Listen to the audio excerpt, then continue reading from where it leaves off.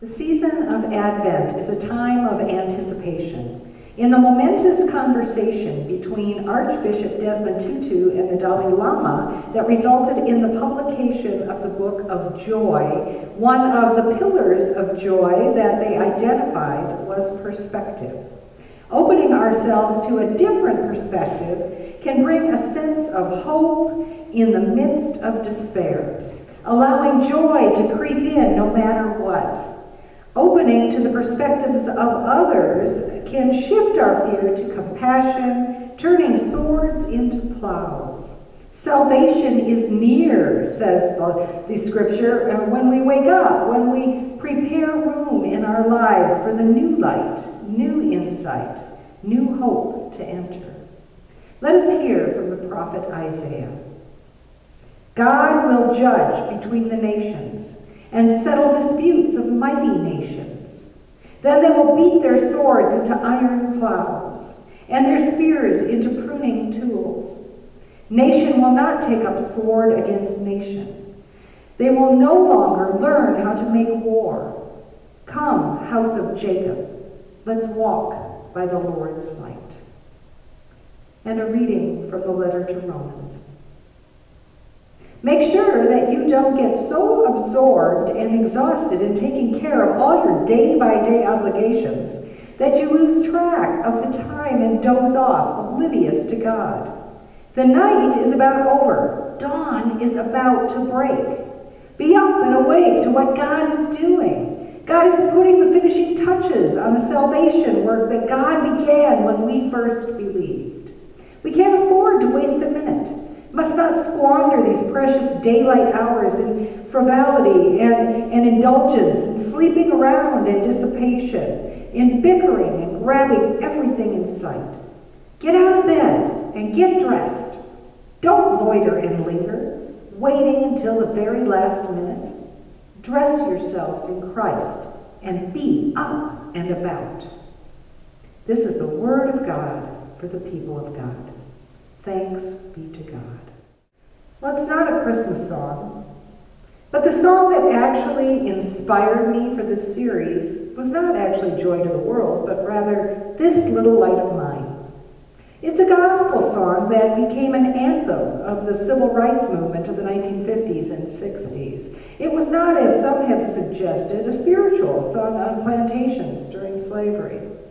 Instead, it was a children's song written in the 1920s, reminding us that there is a light that each of us has been given, and when we let that light shine through us, there is a greater light at work in this world. You know, I think the version of the song that I like best is, is the one that was sung by the queen of American folk music, uh, Odetta Holmes, and the Harlem Boys Choir in the David Letterman show on September 19th, 2001.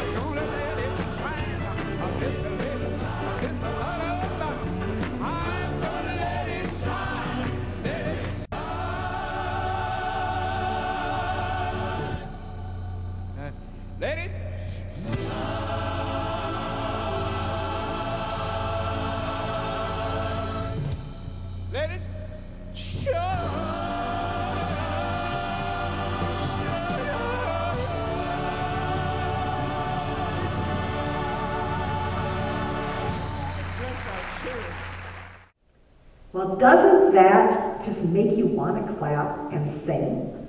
Doesn't it? But do you remember what was happening at that time? I mean, the Twin Towers had just fallen, something none of us had ever considered possible. Air travel was halted for days. We were terrified. I mean, parents rushed to school to get, to get their children. And I remember when I went to church that evening, our, our sanctuary was filled. Sanctuaries across the country were filled. And, and that night, and that weekend, and weekends that followed, they were filled with people who were frightened and confused. And even the David Letter, uh, David Letterman show suspended its show because we felt that it was wrong for us to laugh. Once it was darkness. And then a group of boys stood up to sing a prophetic hymn. Hope and joy shone through. This little light of mine, I'm going to let it shine. In the midst of darkness, the light prevailed. The light wins. No matter how dark it gets, the light will not be extinguished. The light wins, and in these moments, hopeful joy is found. I mean, that's what the prophet Isaiah was saying in Isaiah chapter 9. The people walking in darkness have seen a great light. On those living in the land of deep darkness, a light has dawned. Now, they couldn't see that light yet, but Isaiah's hope was that they would. You see, it was the 8th century BC, and the southern kingdom of Judah was in turmoil. People were frightened and terrified, anxious. The northern kingdom of Israel had, had been defeated as the Assyrian Empire expanded its territory and moved down, coming ever closer to Jerusalem. A succession of kings had struggled to preserve and secure Judah's existence. But Isaiah proclaimed a political solution was not the answer. It was a dark night. But Isaiah announced that God would bring forth a new king who would rule the people with justice and kindness. A light was about to break forth over the horizon. Can you see it? Are you prepared for it? Will you welcome that light? But they couldn't, or they wouldn't. And so that light would not break forth into the world for another 800 years. And when it did, Jesus proclaimed, You are the light of the world, a city on a hill that can't be hidden. Neither do people light a lamp and put it under a bowl. Instead, they put it on a stand, and it gives light to everyone in the house. You see, had in mind was a lamp like this. Oh, so fragile. But with a light so strong that if you put it on a lampstand, it would illumine the entire house. And can you just imagine if everyone did this? If everyone let this light shine?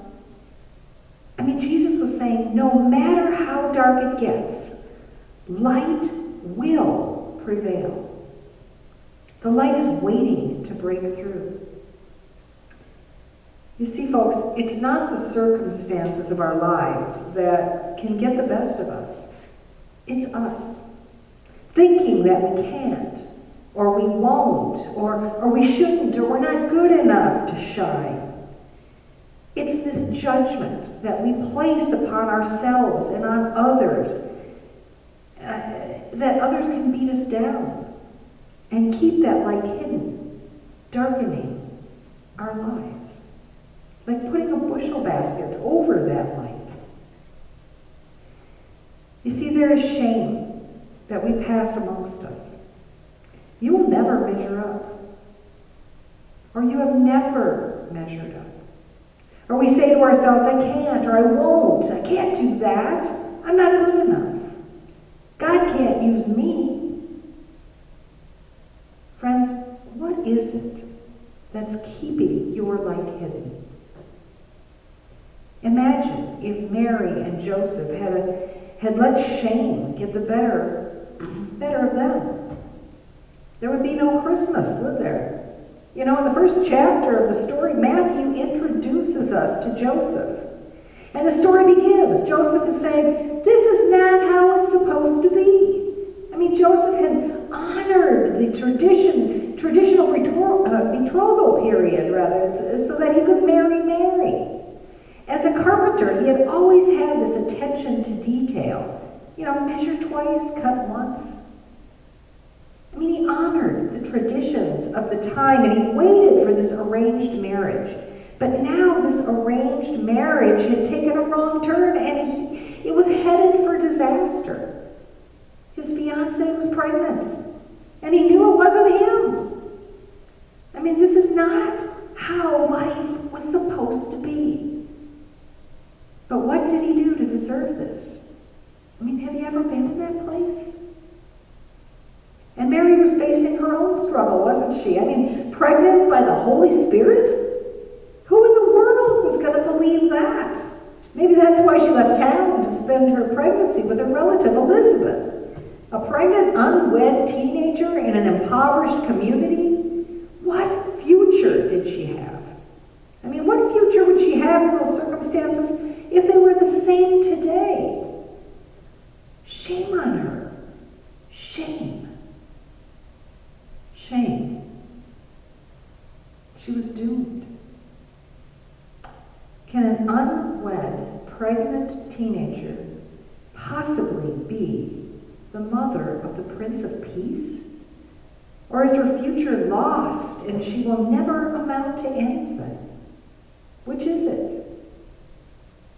What's the song tell us? Hide it under a bushel? No.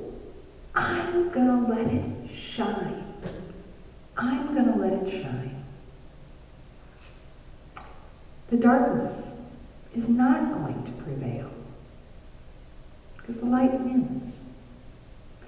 The very thing that can be the source of shame to cover the light can be used by God to uncover that light. You know, when I was just coming back to church, after my 30 year absence, I was invited to go on an Emmaus retreat. Have, ever, have you ever been on an Emmaus retreat? Have any of you ever been on one? Or, or a Cursillo event? Or It's this uh, retreat based on Luke 24 story, The Road to Emmaus. It's this wonderful spiritual retreat meant to encourage Christians to find ways to live out their individual calls to discipleship in their home, in their church, and in their. Now, since that initial Emmaus walk, I have participated and led many retreats, and I, I would recommend that everyone here should at least try one once. But, but on that first one, I was quite overwhelmed. I was a brand new Christian. I had no idea what I had got myself into. And on that last day of my retreat, I, it was custom that everyone who participated would actually stand up and come up center stage and, and speak about what that weekend meant to them. And folks, I thought I was going to be sick. I was terrified because I was not a public speaker, and I felt like I was back in my high school speech class being called upon to do an extemporaneous speech. You know those kind where there are no preparation or, or research done, where, where we would be just given this topic and we'd have this five minute speech on whatever topic we drew out of the hat? And so I waited. And I waited and waited, and as each person got up and so eloquently shared what this weekend retreat had meant to them and how it had changed their lives for the better, and then it was my turn, the very last one. And I was so scared, friends, I, that all my table mates uh, at, at the retreat encouraged me by holding my hand and walking me up and standing up uh, by the podium with me. And, and as I looked out over the crowd of people that were out there who came specifically that day to hear how this weekend had changed my life. And, and I opened my mouth. And, and, I was trying to say something, anything uh, that would be sufficient so I wouldn't look like a fool. And suddenly, as I opened my mouth, a large bell that was sitting outside this chapel that we were in on a big stand, the bell rang. And it rang one time. Just one. Letting us know that it was time for lunch. And I have to say, I've never forgotten what I said that day. I paused, I took a breath, and without really thinking, I said and uttered these words Saved by the bell. And the crowd laughed. I mean, every person in the room began to laugh and clap. And for a moment, I thought I was okay. I did great. I just won the approval of the entire room. But as I walked back to my seat, and as I took my seat in the back row, I was crushed. I was embarrassed. And I realized that everyone in the room was not laughing with me, but they were laughing at me. Because they knew that that was a speech worthy of an F. And I wore that F, my friends, for a very, very long time. Years, actually. And it honestly kept me from being a pastor for many years. And I mean, Lord, what are you doing? Ever considering a career in ministry? You can't even put together a five minute speech that is worthy of anything but an F. You can't do it. You will never be able to do it. But look at me now. You see, the very thing that can be the source of shame to cover the light can be used by God to uncover the light. An angel of the Lord appeared to Joseph in a dream and said, Joseph, son of David, do not be afraid to take Mary home to be your wife. You know, the most mentioned command in the Bible is do not be afraid. Because we're more than a list of faults and mistakes and missed opportunities. You see, the light is waiting to break through. The light could shine through you. You know, when we look up at the night sky, we see that the night is filled with stars. But someone looked up at that night sky and saw something more than stars and connected the dots to make the Big Dipper. Have you seen it? And I wonder if we could take those dots of our own lives and call that big glory. That very thing that is the source of shame that covers your light can be used by God to uncover the light. Jesus said, Let your light shine before others, that they may see your good deeds and glorify your Father in heaven. You know, as I mentioned earlier, that since that initial retreat, I had participated in several Emmaus walks. Sometimes I was a table leader, other times I led the music and I gave various talks and I worked behind the scenes on, on the Agape team, making sure that everyone was treated hospitably. And last year, as I was walking in Target at, in Alexandria, of all places, someone came up to me and said, I just wanted to thank you for what you did for me eight years ago. She said, You were the music leader on my Emmaus walk, and I just wanted to let you know that since that weekend, you have inspired me to lead the music at five different retreats.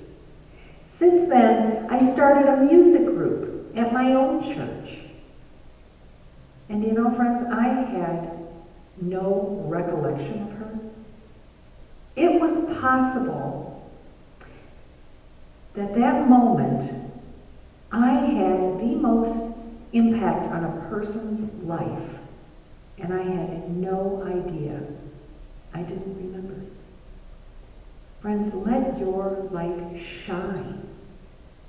Someone is waiting for that light to break through. When Joseph woke up, he did what the angel of the Lord had commanded him, and he took Mary home as his wife. You see, God is ready. God is like the electricity that's sinking a lamp.